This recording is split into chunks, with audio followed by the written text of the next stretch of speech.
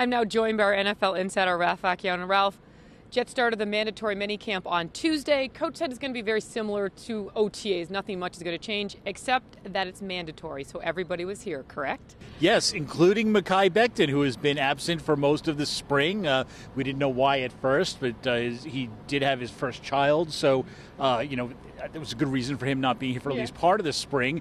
But he's here at this mini camp, and we didn't really get a good look at him. He was way on a backfield, just working on the side with trainers.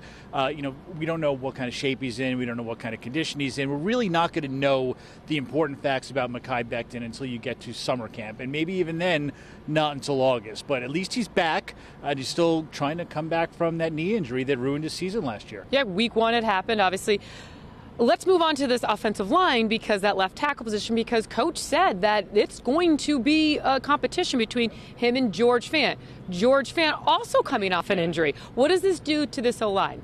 It's interesting. Uh, You know, right now it is uh, Chuma Edoga and Connor McGovern as the starting tackles, so we don't know what it's going to do. But, uh, you know, it'll be an interesting summer competition. And I think the big key is whether there's a competition or not will depend on whether Becton is back in time for the start of camp. Because, again, he hasn't played since last September. Which is a huge difference between football shape and in shape. Absolutely. So he may be in shape, but there's conditioning work he's going to have to do. And I cannot imagine any scenario where in the first week of training camp they turn him loose. So, you know, it might not be until mid August where there's a competition. If George Fant is ready, he's probably going to be the left tackle. But, you know, Robert Saleh did say that, you know, they will think about it. They'll let the two of them compete. The loser of the competition will end up as the right tackle. But the big piece is Mekhi Becton's health because if he's not fully healthy, if he's not the same guy, it's really not much of a competition at all. And again, Alijah Vera-Tucker moved to the right side. So Yeah. the line's going to look a little different. Same. Right, and you can't look. Every left tackle wants to stay there. Guys would like to know what position they're in and